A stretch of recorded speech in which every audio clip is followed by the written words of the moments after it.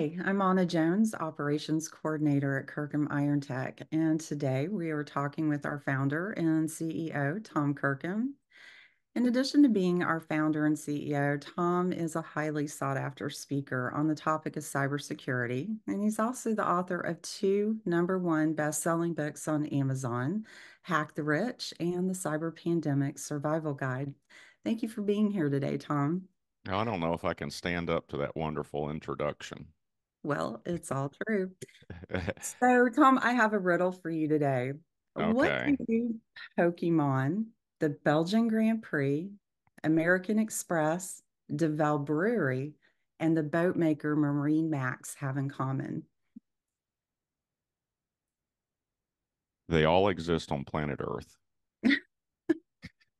I think they've all had a. I think they've all had a a, a data breach of some sort recently. Yes, they have. They've all been compromised um, by cybercrime in 2024 this year.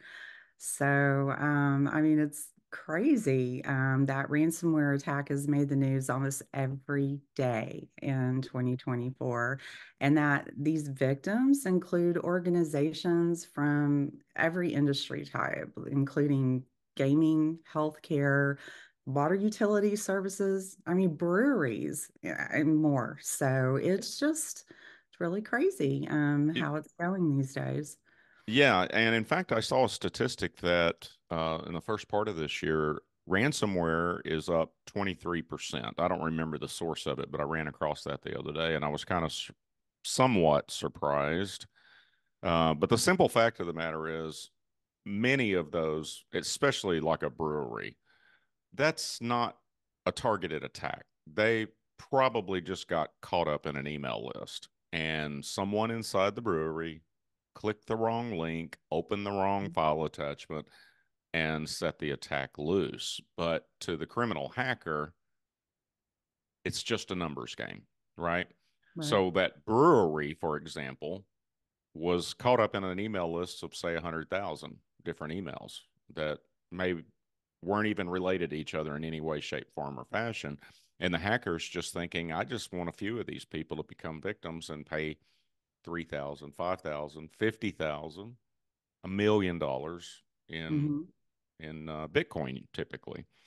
And that that's one of the big problems that we have is, and especially me, because I spend most of my time evangelizing and, and raising s- security awareness that it can happen to anyone. You know, we all hear the big names like American Express and others that get compromised, Sony Pictures, JBS, Colonial Pipeline, the list goes on and on and on. But those are typically targeted attack attacks. What you don't hear about are the small and medium sized businesses or individuals hmm that are hit with modest ransom demands, you know, thousand, three thousand, five thousand, because those go usually unreported. Uh, but those are the most significant part. Mo- more attacks are to the small to medium sized businesses. The hackers do not want to end up making headlines like you just cited. You know, they don't want to be on CNN. It, it increases the chances that word to were they to leave the protection of Russia to go on vacation, say in Greece, it increases the chance that they're going to get arrested. They Um, would pre- the most ransomware attackers would rather stay under the radar, do the, the most of them do the smaller attacks, work in terms of volume, scale, and make money that way, but then they can just repeat it over and over again. You know, the Colonial Pipeline attack was, uh, let's see, the ransom on that was four and a half million, I think. Wow. And, uh, but because it was so big, it disrupted petroleum distribution on the East Coast.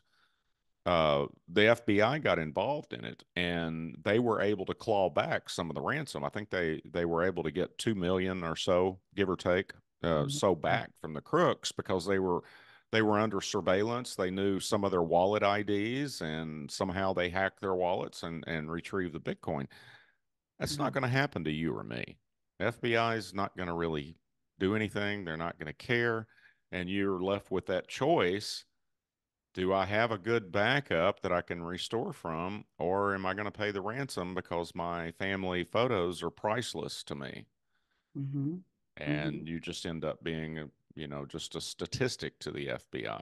You know, they're not going to pursue, you know, critical infrastructure like, uh, well, any supply chain stuff like JBS, um, petroleum, all of those things that that's more serious, and they've got to, you know, do their best to try to stop those kind of hackers.